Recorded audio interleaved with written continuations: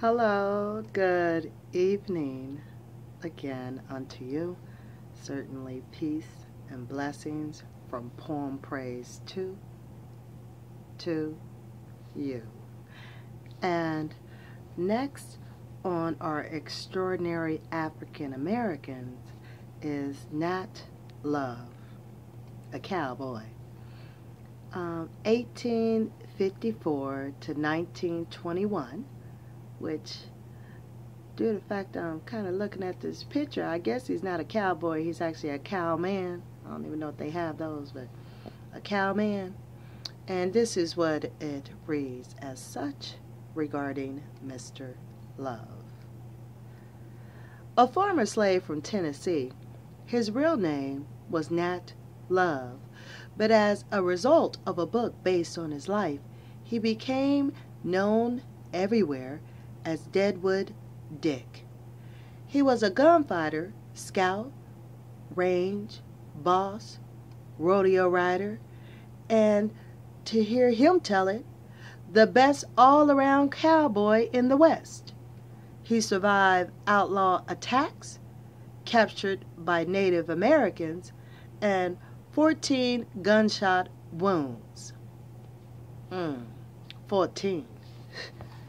wow. Okay. Love's adventures began in 1869 when he got lucky and won a horse in a raffle. He sold his horse, split the money with his mother, paid a few bills, and took off for Dodge City, Kansas to become a cowboy. Already an experienced horse trainer, Love quickly learned to herd and brand cattle and to use a gun. He got his first job at the Duval Ranch. Later, he hired on with the Peter Gallinger outfit. In 1876, a big 4th of July celebration was held in Deadwood, South Dakota. The town was crowded with cowboys from all over the territory. It was during this celebration that Love competed in several contests that made him famous. He won the rifle and handgun matches and set a record in the rope throw and bronco riding contests. Mm.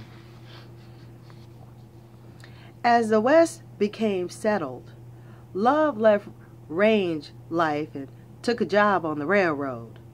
Like thousands of other African American men and women who had left behind memories of slavery. He traveled west seeking a fresh start. It is estimated that one fifth of America's cowboys were African Americans, men seeking to make a new life for themselves.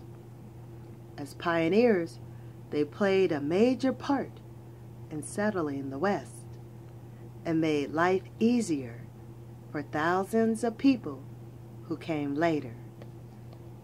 All right, I thank you for tuning in, listening about the cowmen, the cowboys.